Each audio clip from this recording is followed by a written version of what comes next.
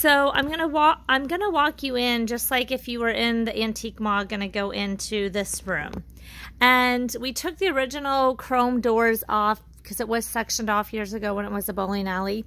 But right now it has this original ugly bluish speckled carpet. It's very good quality commercial grade. Um, this side has a little bit of everything in it uh, mishmash curtain rods you can see up there, gray walls if you can see them. Um, you know, and you know, the vendors just recently cleaned this room up and it looks better than it did, but this room seems to like get junked up easily.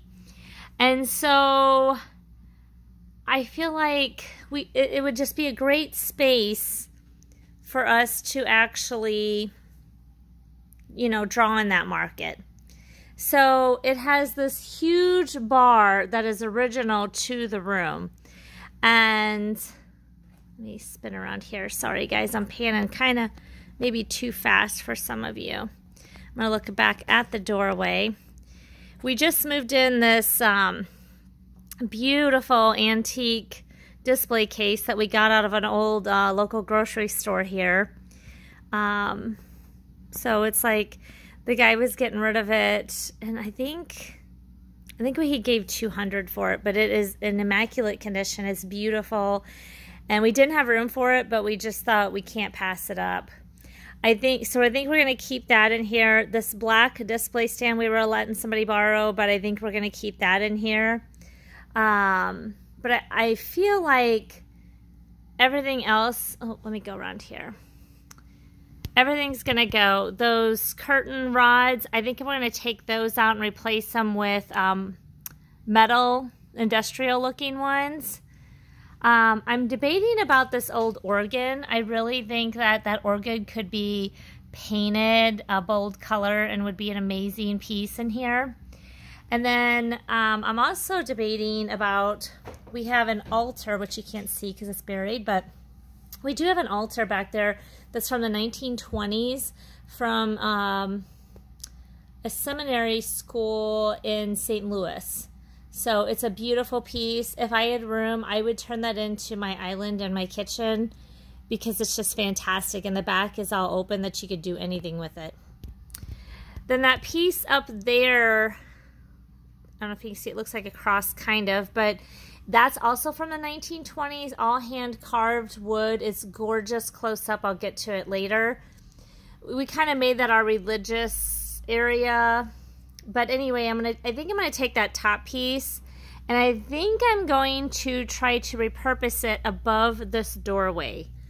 I think it would look fantastic and I got some pillars from that hall uh, from the 1920s to put on both sides and I think it will be amazing and just make a grand statement.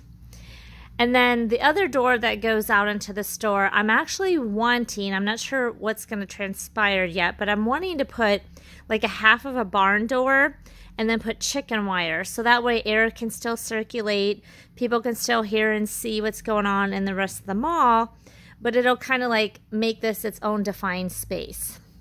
So that's my plan. So we'll see. So I'm going to try to go slower, guys. I'm sorry. I don't know about this podium yet, what I want to do with it. It's super cool. Um, again, we put it by the church stuff, but I feel like that needs something done with it. And we got this um, beautiful kneeler that I think is from the 1940s. Um, and I want to bring it home and use it in my meditation space, but my husband um, for those of you that don't know, my husband is an embalmer. That's his daytime job. Well, it's sometimes his nighttime job too, but that's his full time job uh, while I'm trying to build this business and hopefully be able to retire in one of these days. But here is behind the altar. So we use it for storage of extra record albums. But isn't this amazing? Like, you could do so much underneath here. I just yeah, I need a bigger house. This beautiful piece of trim I'm going to try to incorporate. Um, it's also from the 1920s. And look at the detail. Like, this is all hand carved I mean, this is just gorgeous. And I don't know, I think it's oak. So what's going to be interesting is my husband is totally not into painting wood. So we'll see. This here, we had it at 300 and marked it down to 190 because we had it in the way. But now I'm going to use it. So now it's not going to be for sale. But look at this. It's just absolutely stunning. I think some of the trim came off of up there, but so my husband and I are going to have the little um, talk about painting this because I know he's not going to want to, but we're going to anyway.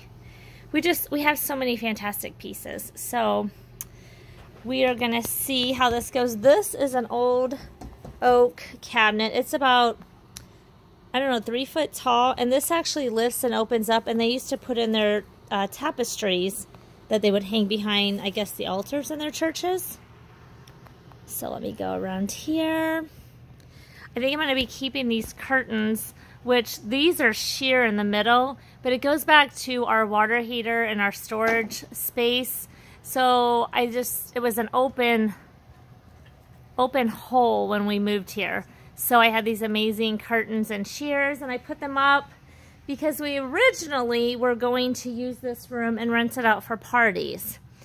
Um, we had it set up with all three by three square tables. We had white shears and it looked very elegant um, and kind of had that French country look to it.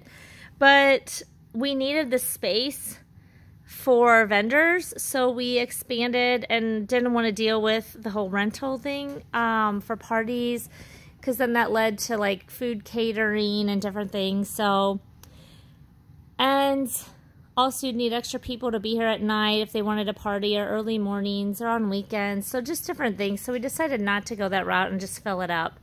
But now it's been seven years and I think we're going to transform it again.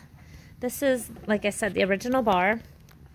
It's just painted black, but we're going to do something totally different here. It has this little foot ledge down here and this cushioned.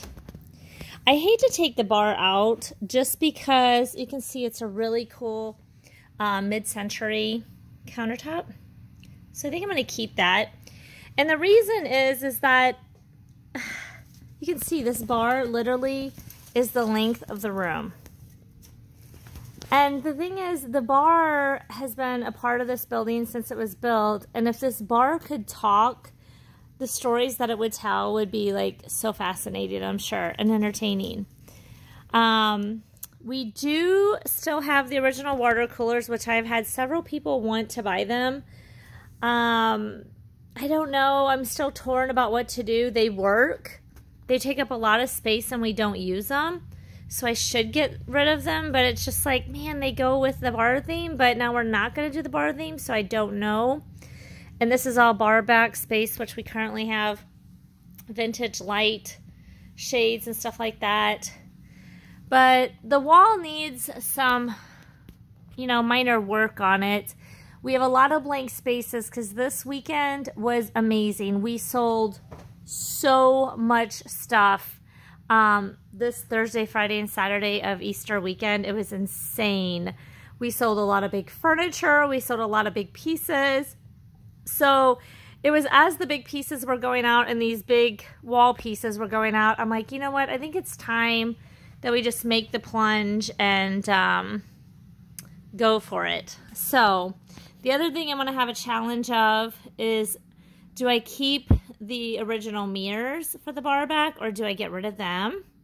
And then also we have this original um, AB bar tap that's original to the building. And we have had so many people want to buy that too. And I just, I have a really hard time thinking I'm going to let go of it. I don't know. Because like I said, it's part of the place. I might be able to make it work with the decor. But we shall see. Um, the floor, we put in this peel and stick stuff when we opened as an antique mall because it was really nasty back here. You can imagine being behind a bar. There's a little piece of carpet. I need to get rid of that. Um, we're just we're just gonna overhaul this whole place. You know, it's time. It's time. We have so many lamps. It's insane, and we just we don't have enough space to put them. We have these vintage chairs. They're so cool. Vintage school chairs. Um, wine bottles we have way too many of, and people always ask, do people actually buy them? They do. Um, chrome bar stools, which those would go with the farmhouse style. Um, we have all four of them for $180, and they're really good quality ones too. So, and we have this old coffee grinder, and she says it works. I haven't tried it. And we have this bowling stuff. So, and then we have this where the bar TV used to be. We currently, it's a monitor for our security cameras that we can turn on so people can see what we're seeing. Uh, but I think we're going to revamp that. My husband had some really good ideas for that.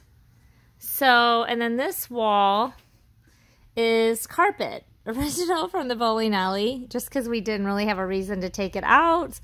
But I think it's time for that to go. I'm a little bit nervous because I feel like it's probably glued in there so, so good. It's going to be not a fun project. So that's kind of the current status and overwhelming inventory of the bar, what we call the bar room. Um, but it's going to be time for it to see a new life, see new days. Um, I think it's going to be fun.